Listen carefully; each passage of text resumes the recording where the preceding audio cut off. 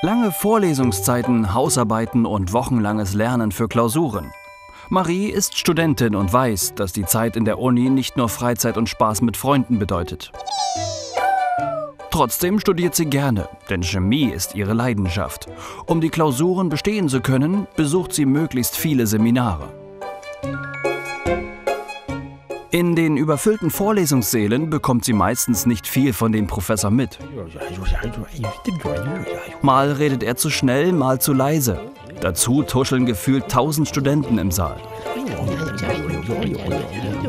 Doch es scheint eine Lösung zu geben.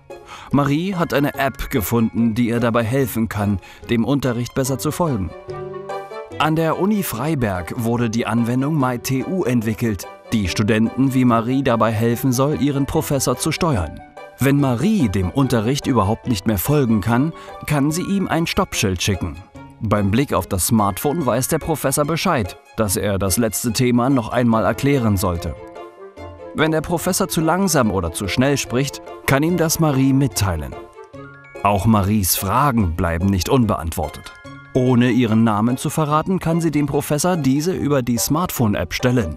Denn wer hebt schon gerne im überfüllten Vorlesungssaal seinen Finger und sagt, dass er etwas nicht versteht? Marie ist jedenfalls zu schüchtern. Entwickelt wurde die MyTU-App von Studenten der Bergakademie Freiberg in einem Informatikkurs. Erst einmal ging es darum, eine mobile App zu programmieren.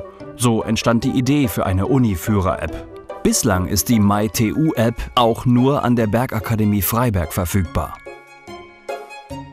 Wenn Marie morgens aufsteht, kann sie zum Beispiel nachsehen, welche Vorlesungen heute anstehen, was es in der Mensa gibt oder ob ein bestimmtes Buch noch in der Unibibliothek verfügbar ist.